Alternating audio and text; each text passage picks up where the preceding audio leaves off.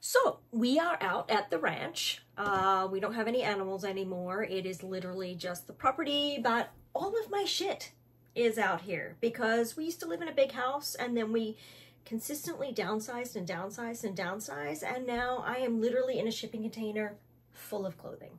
Um, so I'm going through all of my stuff, trying to work out what I want to take, what I want to get rid of, all of the things before we move. My hair smells like smoke because we were cutting mesquite yesterday and then this morning I burnt it all so I am like literally dressed in like mesquite smell. So if you like barbecue, uh, I'm probably like your favorite person right now. Also kind of sweaty and gross, but you know what? It's 100 acres. Nobody's gonna see me except for you guys and I've got like bites all over my face because you know, when you're in the country, shit bites you and it just happens. Thankfully, we're not in town. No one's going to see it. I know I'm preserving it on camera forever, but like, I just don't really care. but like, this is literally like all the shit that I'm going through. And this is just one. Like my Airstream is still full of stuff.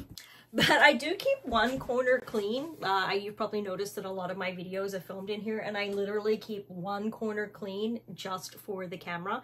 And otherwise over here is like my computer setup for like day trading and just basic interneting and all of that stuff. But I also thought it's been a minute since we've done a foot update. Look, they're all dirty and gross because I've been mowing the lawn this morning um, and like basic ranch stuff. So my feet are dirty. Deal with it. Also, like, can you believe how long my hair is? Like normally I have like a tiny pixie cut and I've just let it grow this year and it is insane. Like even my hairdresser says that my hair grows faster than like any person that they know and I keep cutting it and it just it's out of control. It's just, it's long. It all falls out too. Like there's hair everywhere. I'm like worse than a dog. Like I have a hypoallergenic dog that does not shed. It's my hair that is everywhere.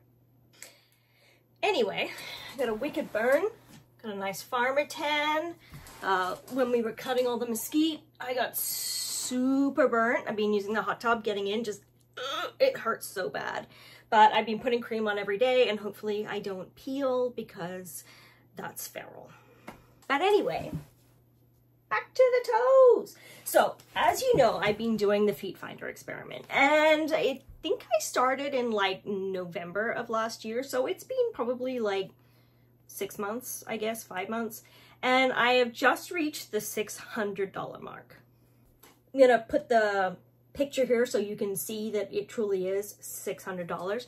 Now, I am not doing weird photos. It is literally just feet. And that was the experiment to see if it was just feet. And like, there's a couple of like kind of spicy photos, but nothing that's like really like what you may think of um, when, you know, people say feet photos. Um, it's it is literally just feet. And what's weird is the spicy ones don't really sell. It's the ones where like people constantly request feet in stockings. And then I don't know what it is with dudes and like wasting food, but there's a lot of requests for like feet on bananas or hamburgers or custard.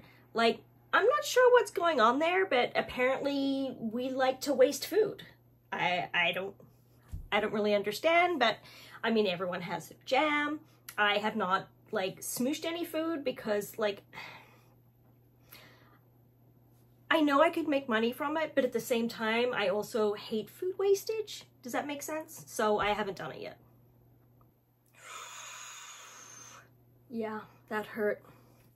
But then really like I put up photos of my feet in shoes, uh, just bare feet. Um, and so, and then I posted one up for my birthday and you can buy a subscription on Feet Finder. And one person was actually kind enough because I'm like, hey, it's my birthday, you know, buy this picture for my birthday present.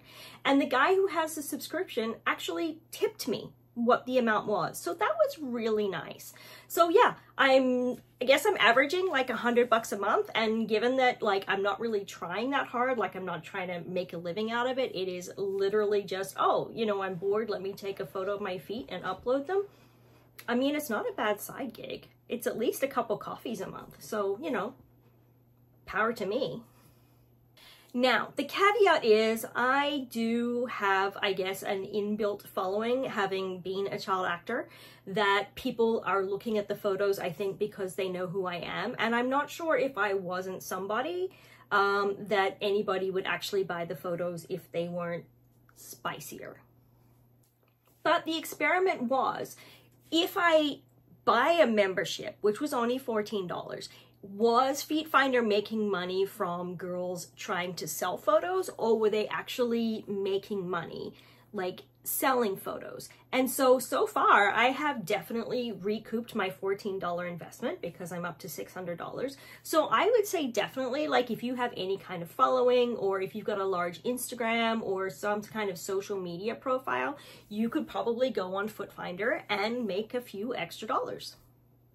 Now, my husband does have y'all's back because sometimes I'm really lazy and don't post. And he's like, you know, if someone's paying a subscription, you need to upload more photos. So I have been uploading more photos and they do have a thing where you can put things up and then have them post at a later date because sometimes I'm traveling or, you know, like my feet swell sometimes. It's really weird. I don't know what it is. It's only the right foot and I don't want to take photos on those days. And so on the days where my feet are pretty, like like they're dirty right now, but you know, they're kind of pretty.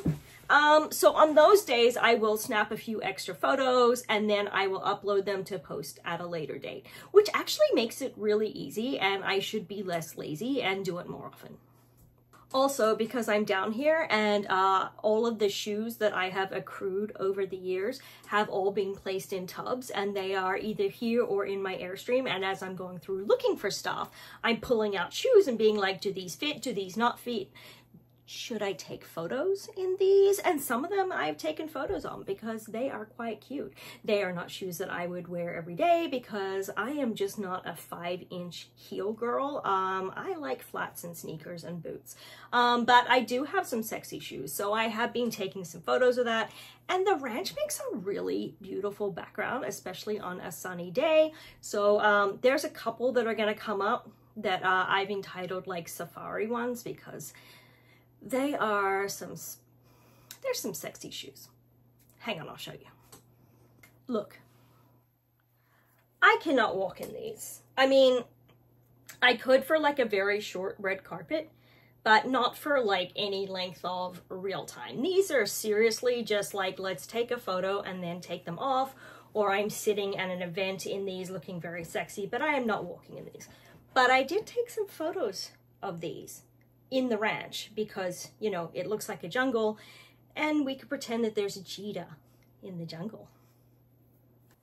I also just like these because, like, I mean, it's it's printed. I'm sure it's not a real animal, but I mean, it is real fur. They've just printed it. So they are, they are quite sexy and they do fit. Like, they're a size five, so they're just a tad big, but I mean, it's rare for me to find shoes that fit because I wear a size 34. Teddy's just been sitting off camera as he always does. He's looking a bit feral, aren't you, mate? Need a bath today. But yeah, so that was my quick update with a hi from Teddy. Uh, so we're doing well on Feet Finder. Um, if you want to see some pics, it's under Shrimp Tank. Go have a look. Um, and yeah, I think I will keep posting more photos because it's a good side hustle and it it's pretty easy. I'm just really lazy. Go get you some of those. Hope you have a great weekend. Bye.